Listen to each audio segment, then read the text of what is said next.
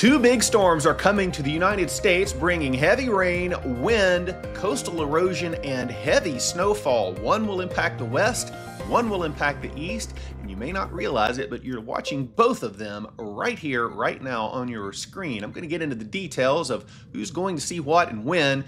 A lot of variability among the model guidance with the track of the storm, especially in the east. We're going to take a look at why that is the case. I actually did a video on that last evening, and I will link to that video at the end of this. Anyway, welcome into the show. Jason is my name. Glad you're here to track the weather with me today. It's hump day, it's Wednesday, and we've got a lot to get into. And we're going to start in a little bit of an unusual place, and that is with today's Weather IQ question. Yesterday, I asked you, what was the most popular or common candy at Halloween? And the answer was Reese's Peanut Butter Cups. Today I've got a different question along those same lines, though it's fun. Take a look.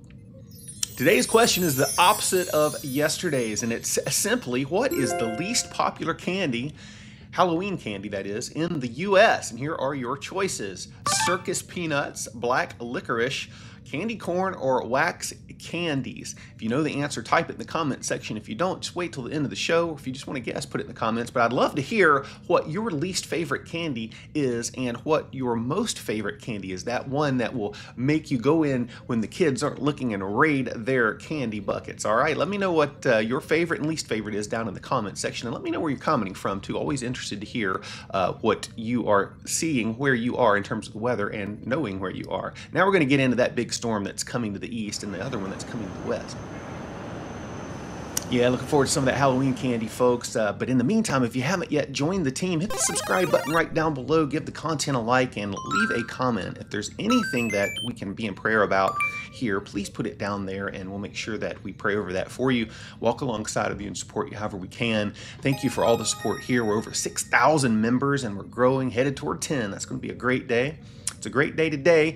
Anyway, anytime we can talk about the weather together, and we're going to start here with the satellite image, and you can see a bunch of clouds, especially over the eastern part of the country from Maine up in Canada, actually, all the way down across the southern tier and connecting to this big swirl down here. What is that? That is Hurricane Priscilla, and that's going to play a role here in the southwest over the coming days. We'll look at that. Another big batch of clouds off the coast as we've got big energy rounding the uh, apex of a ridge out here. That's also going to be a weather maker. Here is the satellite and radar combined, and these little blue areas and red areas are rain, believe it or not. It's a little bit of an interesting color, but this is what this site uses. And you can see this very, very light rain out here in New Mexico, the panhandle of Texas, even got a little batch moving through West Virginia, western portions of Virginia. But the big story is the rain along this frontal boundary up here in the northeast. And if we hover over these areas, you can see some areas are picking up as much as two tenths to a quarter of an inch of rain per hour. That's good rain. You need the rain up here, and it's great to see that occurring. We need it in the southeast too, but unfortunately, the tail end of that front is a little bit dry and we're not seeing much rain out of that. All of this will push across the northeast today. There's the frontal boundary that's responsible for that. Got a couple little waves of low pressure enhancing the rain as they kind of ride the front, but uh, all of this will move out of the picture as we go through the afternoon and evening up here in the northeast, and the front will be slow to exit. The flow is coming more easterly, particularly the farther south you go, as opposed to meridionally and pushing that, driving it through. So we're not seeing that. As a matter of fact, this front's going to hang up here off the coast and be responsible for generating, helping to generate an area of low pressure. And that's one of the big storms that we're going to talk about. But uh, that's what's going on right now. Got a little bit of rain action this afternoon back in the Four Corners as well. Alerts map, not all that alerty. Got a little bit of a dense fog uh, scenario going on down here across southern portions of Louisiana and Mississippi, but most of these alerts up here in the Northeast are for low temperatures tomorrow morning. Have some frost advisories, some freeze warnings, and a couple of those back here in Michigan as well. Most of these up here in the Midwest will expire this morning and be out of the picture. Same in Ohio, Ohio, Idaho. What in the world? That is what is going on on the alerts map, folks. Easy for me to say. Now, Got a couple of things that we've got to talk about, and that's big storm uh, potential over the next five days to seven days across the country. One out west, one in the east, and we saw this earlier in an animation, but here's what's going on. This is our energy map. This is mid-level energy, and I took you through several different models and what they're showing in terms of how energy is coming together in the mid levels to make a surface low pressure. And I targeted the East Coast with that because we've got variability across what the models are showing. And I did that yesterday. I've linked to that uh, video here as well. And so watch, watch what happens. We're watching a couple of things here as uh, the Europeans see it, and here's what's going on. There is an energy piece of energy coming through, uh, riding that frontal boundary through Tennessee. I've got another short wave way up here in uh, Canada, and then another big system out west. And here's that hurricane right here in the southwest off the Baja. Now watch this. Watch what happens as we go on out in time. You get that little piece of energy. It starts to cut off over the southeast. The other piece of energy up in Canada is diving in toward it and the European actually breaks, has two, two distinct short waves. That big one here, and you can see the big uh, red area there, and then another one diving in into the Mississippi Valley as we go on out into Saturday. Storm coming ashore out west as well would be responsible for rain out there. And so we'll stop it here. This is Sunday morning. So now we have low pressure developing off the southeast coast, and I'll show you what that looks like on the surface map in a second when we break that down. But then you've got this big uh, piece of energy, that other little piece that has merged in here, and it's helped to generate this storm along that frontal boundary that's hanging up. And now we've got another piece of energy diving in. Big trough out west with southerly flow bringing the remnants of Priscilla in here to the southwest states and uh, a lot of rainfall going to occur out west where you need the rain as well. And then over here in the east, look at that. That, P, that uh, short wave merges with our coastal storm energy, and we get this big blow up of contours off the coast and it sort of meanders around and does a little do-si-do, and then eventually another piece of energy comes in through Canada and merges with it, scoots it back over, reforms the storm back here toward the northeast, so you get another round of rain up here.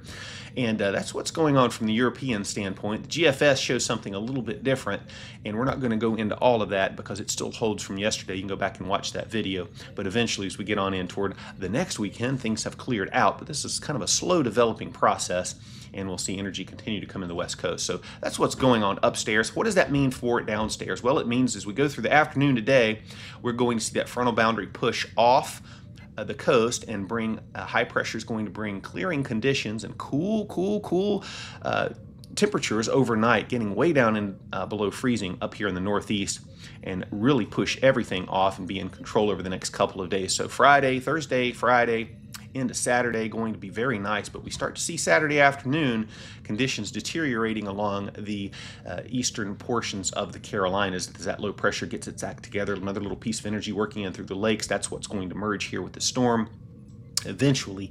And uh, the and we'll stop it right here. We get into Sunday afternoon, and now you've got a 993 low developing off the coast of North Carolina. Some models are merging this energy in farther north and some models are doing it farther east and only doing a partial phase. And where that energy comes together is what's going to make all the difference in terms of who sees the impacts and how much impact we get and how far up the coast. There are divergence. The GFS wants to really bring this up the coast, and I'll show you that. The European gets rain as far as New York City up into Boston, and then the low pressure kind of gets uh, in, incorporated into another piece of energy, backs into the coast as we count out into Tuesday, and then we kind of get a little swirly swirl, a do-si-do, whatever you want to call that, and then it finally moves on out, and then it gets captured again by another piece of energy and uh, pulls it back into Nova Scotia and back into Maine, and it finally clears out by next week. That is certainly a possibility. A lot of energy in the flow, and it makes it a, for a very complicated forecast. So that's what's going on there. The GFS, on the other hand, look what it does. It brings the energy around. You can't really see the energy, you kind of see it here with a reflection of uh, precipitation, but uh, it joins forces a little bit farther to the north, and therefore the system pulls up a little bit farther to the north and gets captured and really pounds New England and the mid-Atlantic and you're going to see a lot of coastal erosion, a lot of wind if that occurs, a lot of rainfall along the coast, particularly up here inland. You get rain inland all the way into New England with the GFS scenario. The European, not quite so much. It keeps a little farther south. The ICON's a little bit more in the European camp. The Canadian is finally kind of getting an idea, not scooting it out to sea so much. So I think we're going to see some impacts. And look here in the west too, as we get on in toward uh, Saturday afternoon, seeing rain pick up out here with the GFS and uh, certainly some snow in the higher elevations as low pressure begins to wind up, energy moving onshore. That tropical system, Priscilla, is getting integrated into the southeasterly flow, or southwesterly flow rather, uh, coming into Four Corners region, going to see rain throughout the weekend into the week, and snow levels will be falling as low pressure moves into the plains. High pressure brings in cool air from Canada on the backside of that. You get a northeasterly flow. Much of Montana looks like it may be in for a little bit of snow. Certainly the higher elevations will be, and then more energy pushing on shore. It's a very, very active pattern, makes it very difficult to see what's going on. And as a matter of fact, here is how the west plays out. We go on into Friday, rain breaking out in the Four Corners region, and new system moving into the Pacific Northwest, bringing rain up there. More tropical moisture, even behind Priscilla, will become incorporated into the south westerly flow. More energy moving on as we get on into Tuesday and Wednesday. And you can just see the snow piling up out here. And as a matter of fact, here's what the European shows in terms of the way of total snowfall. You could look for uh, several inches up to a couple of feet in the higher elevations out here in some of the Rocky Mountains and the Sierra Nevadas up into the Cascades.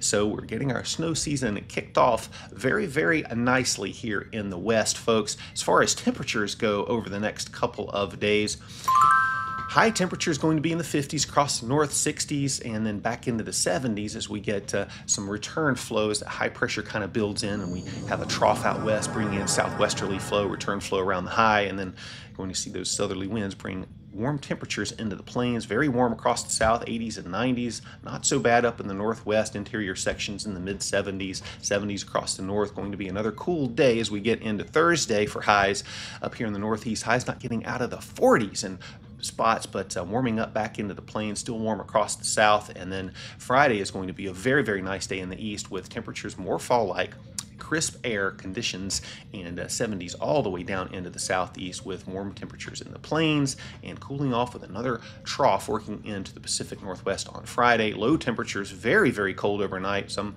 locations well below freezing into the 20s, all the way through the Great Lakes area back into the northern plains as well warmer across the south for sure, and then warming up uh, across the south here um, and back into the Midwest.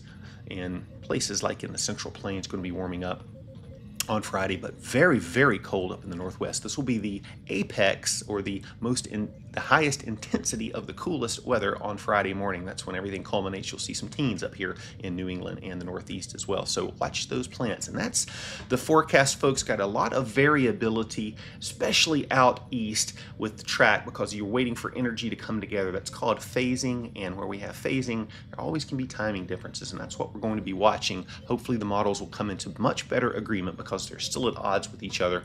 My guess is that we don't see the storm ride all the way up the coast into to the New England area. I think what we'll see instead is a coastal storm form off of the southeast and ride up and affect areas along and south of New York City and um, over to the eastern half of North Carolina and Virginia, parts of South Carolina too. There will be some wind, there will be some rain, there won't be any snow out of this, but there will be plenty of coastal erosion. So if you got any beach plans, watch for rip currents and strong winds at the beach with potential coastal flooding. And that is your forecast for the upcoming storm. We're going to look at space weather and the answer to the weather IQ question coming right up as well. What is that? Well, that's Tropical Storm Jerry looking like a hot mess. The low level circulation is sort of exposed here with convection blown off to the southeast. Not in great shape, but it will continue to organize slowly as conditions become slightly more favorable, more tropical wave action moving off of Africa, and just some rain and convection here in the tropics and the Caribbean up here in the northern, around the northern islands, Dominica, St. Lucia, St. John, and back into the U.S. British Virgin Islands, places like that. Seeing some rain, of course, Central America with that Central American gyre working overtime. We'll see potential over the course the next couple of weeks for something to develop in the Caribbean. We'll keep our eyes on it. Right now, the only thing going is Tropical Storm Jerry moving to the west northwest, 23 miles per hour. Max sustained winds 50 miles per hour, and then this little 10% chance of tropical cyclone formation. I'm sure nothing's going to form here as this little tropical wave moves into Mexico over the next couple of days. We take a look at shear profile over the next two weeks not looking all that uh, impressive out there right now from a shear standpoint, but we do get a window about the mid-month here where the shear profiles look better out in the Caribbean, the MDR, and over into the Gulf. That will potentially become much more unfavorable after that time frame. It looks like some of the tropical forcing is moving into a location that would bring shear back in here and make conditions a little bit more unfavorable as we approach the second half of the month.